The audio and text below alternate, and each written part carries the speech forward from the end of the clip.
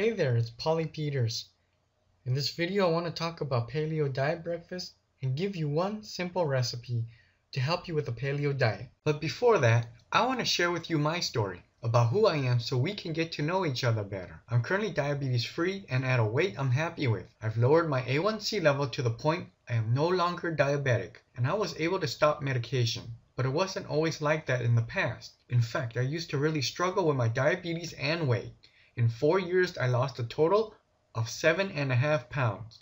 Doing vegan, Weight Watchers, gluten free, you name it, I most likely did it. My diabetes was so bad, my doctor kept telling me that I'd get vision loss, nerve damage, and kidney disease if I didn't change. But then I discovered the paleo diet. I wish I learned about it before I got sick and gained a lot of weight. It wasn't until a colleague at work told me that his neighbor had success with it then I started. I decided to give it a shot as I had nothing to lose. I finally discovered how to control my diabetes, lose the excess weight, and keep it off. After I used the simple recipes in the paleo diet, I was able to go from a depressed, overweight diabetic to a normal, diabetes free, enjoyable life. I'm now able to go to the gym three to four days a week with incredible stamina.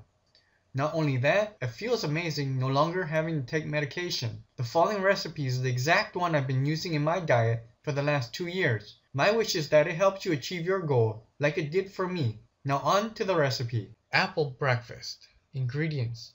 1 large apple chopped into bite-sized pieces, 1 medium carrot grated, handful of raisins and cinnamon. Mix the apple, carrot, and raisins in the bowl and sprinkle cinnamon over the top. And that's the recipe of the day. If you enjoyed this video, then like the video and subscribe to my channel. If you'd like to learn more about the paleo diet so you can experience improved sugar control and weight loss, then click the link below the video, take action and go check it out. Again, click the link below, take action and go check out the page there.